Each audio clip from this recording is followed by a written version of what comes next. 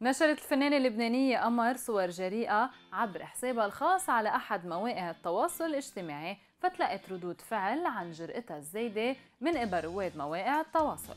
واعتبر البعض إنها عم بتحاول تلفت الانتباه من خلال اختيارها طلة بتحمل كل عناصر الإثارة من كولون شبك لتخليه عن السروال بالكامل واكتفائها بقميص وجاكيت وبوتين سيلفر براء لفوق الركبة.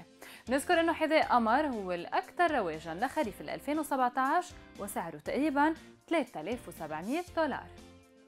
لتعرفوا كل أخبار النجوم يلي بتحبون زوروا موقعنا الفن dot com. وما تنسوا تعملوا subscribe على channel الفن على يوتيوب واعطونا رأيكم بهالخبر عبر ال comment section موجودة. أسفل الفيديو.